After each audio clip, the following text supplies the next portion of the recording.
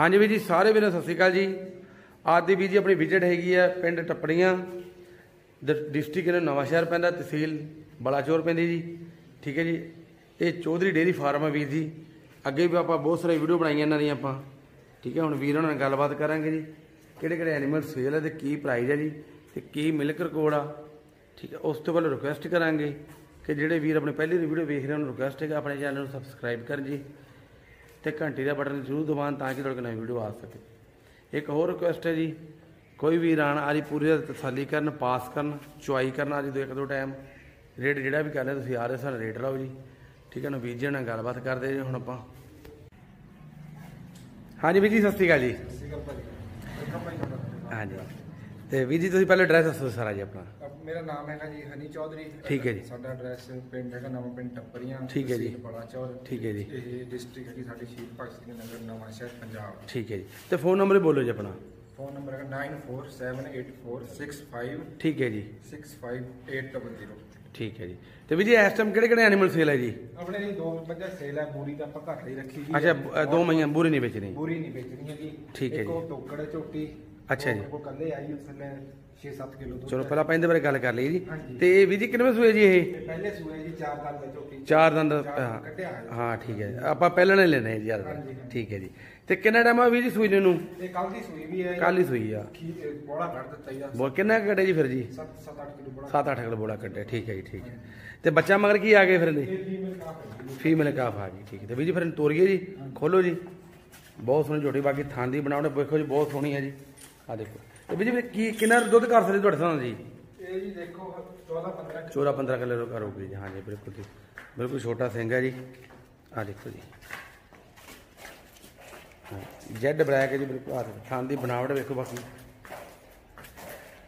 ਠੀਕ ਹੈ। ਉੱਥੇ ਲੈ ਚਲੇ ਬੱਚੇ ਕੋਲੇ ਜੀ। ਲੈ ਚਲੇ।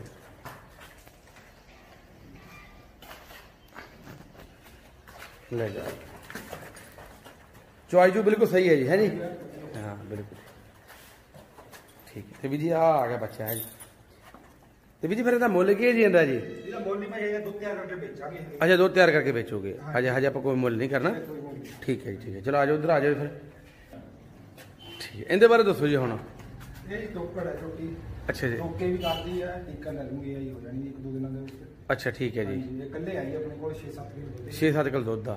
ਤੇ ਤਾਜੀ ਦੇ ਕੀ ਸੀ ਦੁੱਧ ਕਿੰਨਾ ਸੀ ਦੁੱਧ? ਤੇ ਜੀ ਆਪਣੇ ਕੋਲੋਂ ਗਈ ਸੀ ਹੁਣ ਆਪਾਂ ਵੱਖ ਹੋਈ ਲਈ ਇਹ ਤਾਜੀ ਹੈ 13-14 ਕਿਲੋ ਦਾ। 13-14 ਕਿਲੋ ਸੀ। ਮਤਲਬ ਇਹ ਕਿ ਦੂਜੇ ਸੇ ਸੋਣਾ ਇਹਨੇ।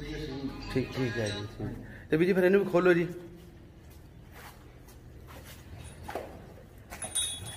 ਆ ਵੀ ਦੇਖੋ ਬਹੁਤ ਸੋਹਣੀ ਝੋਟੀ ਹੈ ਜੀ।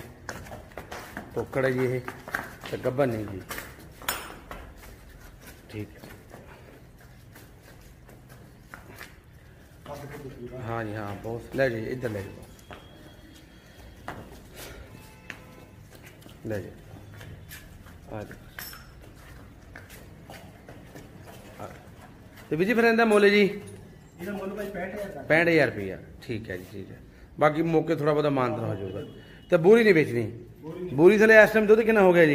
ਇਹ ਭਾਈ 13 ਦਿਨ ਦੀ ਸੂਈ ਥੱਲੇ ਦੁੱਧ ਹੋ ਗਿਆ ਆਪਣਾ 14.5 ਲੀਟਰ ਸਾਢੇ ਚੋਰਾ ਕੋਲ ਦੁੱਧ ਹੋ ਗਿਆ ਜੀ 13 ਦਿਨ ਦੀ ਸੂਈ ਥੱਲੇ। ਜੀ ਬਹੁਤ ਸੋਹਣੀ ਬੋਰੀ ਹੈ ਜੀ ਪਰ ਬਾਈ ਉਹਨੇ ਵੇਚਦੇ ਨਹੀਂ ਇਹਨੂੰ। ਠੀਕ ਹੈ ਜੀ। ਪੂਰੀ ਕੱਦ ਕਾਠ ਤੇ ਸਿੰਗਰੀ ਬਣਾਵਟ ਬਹੁਤ ਸੋਹਣੀ ਹੈ ਜੀ। ਆ ਦੇਖੋ। ਤੇ ਬੱਚਾ ਮਗਰ ਵੀਰ ਜੀ, ਕਾਲਾ ਆ ਗਿਆ ਨਾ ਇਹਦੇ? ਹਾਂ, ਠੀਕ ਹੈ। ਇਹ ਸੇਲ ਨਹੀਂ ਕਰਦੇ ਜੀ ਇਹ। ਠੀਕ, ਲੈ ਜਾਓ ਵੀਰ ਜੀ, ਲੈ ਜਾਓ।